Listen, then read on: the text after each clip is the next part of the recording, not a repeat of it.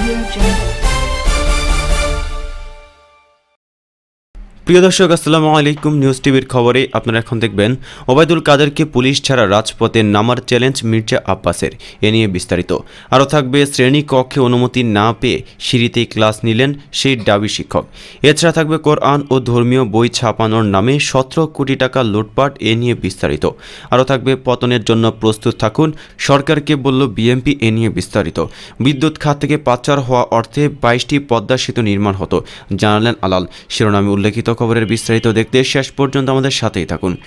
বিএনপির রাজপথে নামার শক্তি নেই আওয়ামী লীগ সাধারণ সম্পাদক ওবায়দুল কাদেরের এমন বক্তব্যের কড়া প্রতিবাদ জানিয়েছে বিএনপির জাতীয় স্থায়ী কমিটির সদস্য মির্জা আব্বাস। পাশাপাশি আওয়ামী লীগের সাধারণ সম্পাদক ওবায়দুল কাদেরকে পুলিশ ছাড়া রাজপথে নামার চ্যালেঞ্জ ছুড়ে দিয়েছেন তিনি। সোমবার রাজধানীর জাতীয় প্রেস ক্লাবে বরিশাল গৌরনদী উপজেলা ও পৌর বিএমপি এবং আগৈলজারা উপজেলা বিএমপির উদ্যোগে বিএমপির কেন্দ্রীয় সহ সাংগঠনিক সম্পাদক আকন কুদ্দুসুর রহমানের নিঃশর্ত মুক্তির দাবিতে আয়োজিত এক প্রতিবাদ সভায় প্রধান অতিথির বক্তব্যে তিনি এসব কথা বলেন। পুলিশ ছাড়া আওয়ামী লীগকে রাজপথে নামার আহ্বান জানিয়ে ওবায়দুল কাদেরের উদ্দেশ্যে মির্জা আব্বাস বলেন, বিএমপি আন্দোলন করার আগেই তো আপনারা ভয় পেয়ে গেছেন। গ্রেপ্তার শুরু করে দিয়েছেন। আপনারা যে দাঁত ভাঙ্গার জবাব দেবেন, আপনাদের কি কামড় দেওয়ার সেই দাঁতগুলো আছে, আমি চ্যালেঞ্জ করে বলে দিতে চাই, আওয়ামী লীগের ছোট্ট একটি মটরশুটি কামড় দেওয়ার যোগ্যতাও নেই। তিনি বলেন, পুলিশ, র্যাব, বিজিবি ছাড়া আওয়ামী লীগের পেটুয়া বাহিনী এক মিনিটও ক্ষমতায় থাকার ক্ষমতা নেই। গ্রেপ্তারের ভয়ে বিএনপির নেতাকর্মীরা গর্তে লুকিয়ে থাকে না, আমাদের ভয়ের কিছু নেই। পুলিশের ওপর ভর করে সরকার টিকে আছে মন্তব্য করে বিএনপির অন্যতম এই নীতি নির্ধারক বলেন, পুলিশ ছাড়া এই আপনাদের ক্ষমতায় থাকার কোনো উপায় নেই। দল দিয়ে টিকে থাকবে সেই দল আওয়ামী লীগ এখন আর নেই। শেখ মুজিবের আমলে যে আওয়ামী লীগ ছিল, সেই আওয়ামী লীগের কথা এখন আপনারা ভুলে যান। সেই আওয়ামী লীগকে আপনারা অনেক আগেই কবর দিয়ে দিয়েছেন। সেই আওয়ামী লীগকে আজকে আওয়ামী লীগ খেয়ে ফেলেছে। সাহস থাকলে পুলিশ ছাড়া রাজপথে আসেন। বিএনপি কর্মীদের গ্রেফতার ভয় দেখিয়ে লাভ নেই মন্তব্য করে মির্জা আব্বাস বলেন, আমাদের আলাল সাহেব তথ্য দিলেন, আমাদের নেতাকর্মীদের বিরুদ্ধে এখন মামলার সংখ্যা ২৬ লাখ নয়, পঁয়ত্রিশ লাখ। অর্থাৎ আমাদের পঁয়ত্রিশ লাখ নেতাকর্মী গ্রেপ্তার হওয়ার জন্য প্রস্তুত রয়েছেন। তাদের বাবা, মা, ভাই, বোনেরাও রয়েছেন। সুতরাং আওয়ামী লীগের সতর্ক হওয়া উচিত। বাংলাদেশের কোটি কোটি বিএমপির সমর্থক এবং জনগণ ক্ষিপ্ত হয়ে রয়েছে। কখন কি হবে বুঝতে পারছে না। বিএসএমএম ইউর ডাক্তারদের আগামী পাঁচই December BMP chairperson Begum Khaleda জিয়ার স্বাস্থ্যের সঠিক প্রতিবেদন আদালতে উপস্থাপনের দাবি জানান মির্জা আব্বাস। তিনি বলেন, আগামী পাঁচ তারিখে খালেদা জিয়ার স্বাস্থ্য প্রতিবেদন সুপ্রিম কোর্টে উপস্থাপন করা হবে। আমরা চাই এই প্রতিবেদন যে অবস্থায় আছে, সেই অবস্থা উপস্থাপন করা হোক, অবিকৃত অবস্থায় উপস্থাপন করা হোক। পরিবর্তন যেন না করা হয়, তাহলে দেশনেত্রী খালেদা জিয়ার স্বাস্থ্যের প্রকৃত অবস্থা জানা যাবে। খালেদা জিয়ার ক্ষতি জনগণ মেনে নেবে না মন্তব্য করে তিনি বলেন, খালেদা জিয়া অসুস্থ, তার সঙ্গে এখন আর দেখা করতে দেওয়া হচ্ছে না। সন্দেহ হচ্ছে তাকে চিকিৎসার নামে অপচিকিৎসা করা হচ্ছে কিনা ক্ষতি করার জন্য। খালদা জিয়ার ক্ষতি হলে তার হিসাব জনগণ পাই পাই করে নেবেন। আমাদের প্রশ্ন, শেখ রেহানার কন্যা টিভিপি নামের সঙ্গে কোম্পানির নামের মিল থাকার কারণে বেগম খালেদা জিয়া চুক্তি বাতিল করেছিলেন। প্রধানমন্ত্রী, এই ডাল গল্পের সূত্র কি? তাকে কে বলেছে বেগম খালেদা জিয়া খালেদা জিয়া নামের মিলের কারণে চুক্তি বাতিল করেছিলেন? এই আষাঢ়ে গল্প ভেবে তিনি সাবেক প্রধানমন্ত্রী দেশনেত্রী বেগম খালেদা জিয়ার বিরুদ্ধে মিথ্যা উৎস রটনা করে নিজেদের অবৈধ সত্তা এবং মহা সমারোহে দুর্নীতি ও জাতীয় স্বার্থ বিরোধী চুক্তি আড়াল করতে চান। একই মিথ্যা ও কল্পিত কাহিনী বারবার প্রচার করে শত্রুরূপে প্রতিষ্ঠা করতে চান। কারণ শেখ হাসিনার গুরু হচ্ছে গৈবল সহ নাৎসিরা।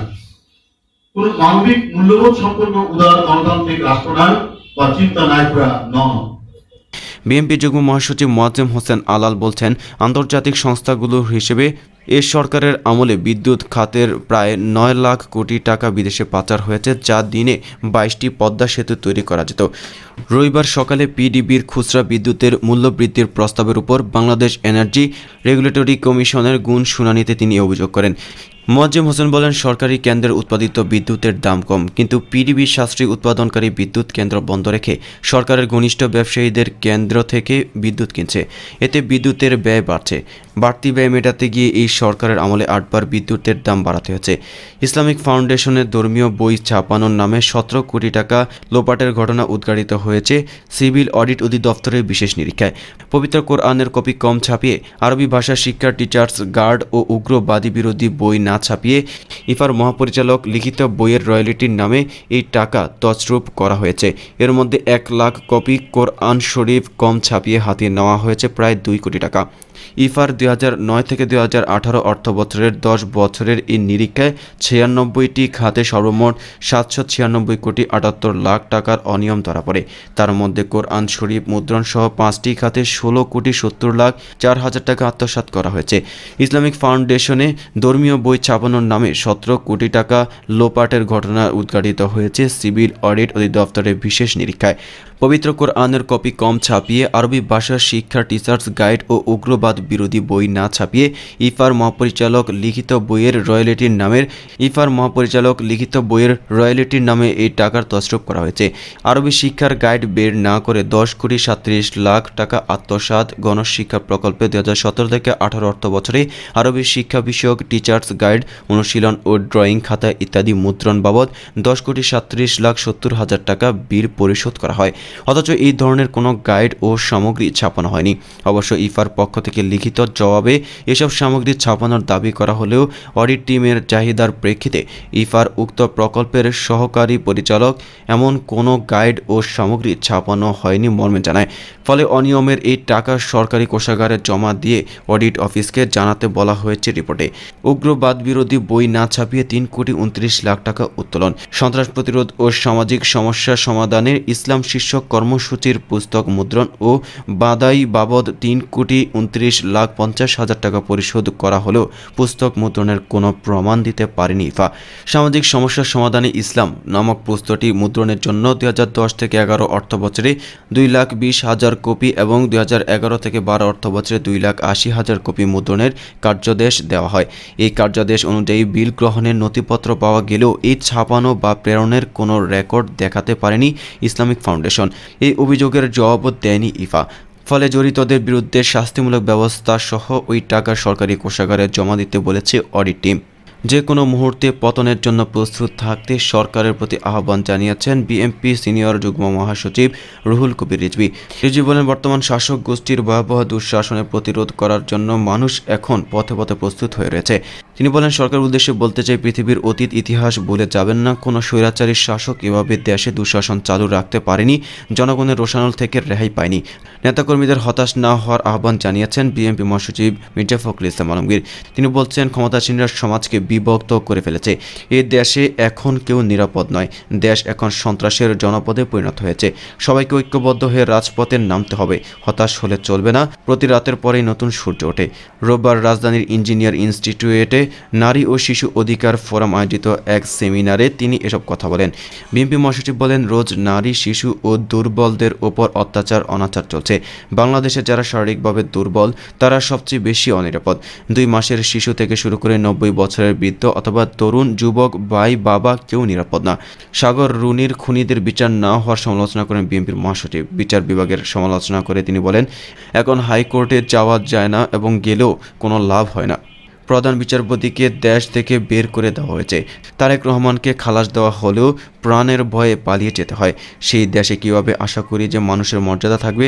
বাংলাদেশ উন্নয়নের রোল মডেল, সরকারের এমন প্রচারের সমালোচনা করে মির্জা ফখরুল বলেন, দেশ এখন সন্ত্রাসের রোল মডেল। তারা নারী শিশু দর্শনের রোল মডেল, দুর্নীতির রোল মডেল। প্রধানমন্ত্রীর বক্তব্যের সমালোচনা করে তিনি বলেন, টাকা বানানো একটা রোগ। এর জবাবে ফখরুল বলেন, এ রোগে আওয়ামী লীগ সবচেয়ে বেশি আক্রান্ত। শ্রেণীকক্ষে ক্লাস নেওয়ার অনুমতি না দেওয়ায় শিক্ষার্থীদের প্রস্তাবে সিঁড়িতেই ক্লাস নিচ্ছেন ঢাকা বিশ্ববিদ্যালয়ের অর্থনীতি বিভাগের সহকারী অধ্যাপক ডক্টর রুশাদ ফরিদি। রবিবার সামাজিক বিজ্ঞান অনুষদের সিঁড়িতে তার নেওয়া পরিসংখ্যানের ক্লাস শতাধিক শিক্ষার্থী উপস্থিত ছিলেন। উল্লেখ্য, দুই হাজার সতেরো সালে অর্থনীতি বিভাগের কয়েকজন শিক্ষকের অভিযোগের পরিপ্রেক্ষিতে বিশ্ববিদ্যালয়ের তৎকালীন সিন্ডিকেট ডক্টর রুশাদ ফরিদিকে বাধ্যতামূলক ছুটিতে পাঠায়। ওই বছরের বারোই জুলাই তাকে অনির্দিষ্ট সময়ের জন্য ছুটিতে পাঠানোর চিঠি দেয় সিন্ডিকেট। তার বিরুদ্ধে অভিযোগ ছিল, বিভাগের অন্য শিক্ষকদের নিয়ে বাজে মন্তব্য করা, শিক্ষক সুলভ আচরণ না করা প্রভৃতি। এদিকে চলতি বছরে পঁচিশে আগস্ট উচ্চ আদালতে একটি বেঞ্চ ডক্টর রোশাদ ফরিদির বিরুদ্ধে বিশ্ববিদ্যালয় সিন্ডিকেটের দেওয়া আদেশ অবৈধ ঘোষণা করে। একই সঙ্গে তাকে কাজে যোগদান করারও নির্দেশ দেওয়া হয়। তবে আদালতের রায়ের পূর্ণাঙ্গ কপি হাতে না পাওয়ায় পরিবর্তে সোমবার তিনি আইনজীবীর প্রত্যয়নপত্র ও যোগদানের কাগজপত্র বিভাগের অফিসে জমা দিতে গেলে চেয়ারম্যানের অনুমতি ছাড়া কোনো চিঠি গ্রহণ করতে অস্বীকৃতি জানান অফিসের কর্মকর্তারা। এই ব্যাপারে ডক্টর রুশাদ ফরিদি গণমাধ্যমকে বলেন, আমার সঙ্গে অন্যায় করা হয়েছে। রায়ের কপি জমা দিতে না পারায় যোগদান করতে দিচ্ছে না। কিন্তু আইনি জটিলতার কারণে আদালতের রায়ের কপি পাওয়ার সময় সাপেক্ষ। আমি তাদের এই ব্যাপারে চিঠি দিয়েছি, কিন্তু কোনো উত্তর পাইনি।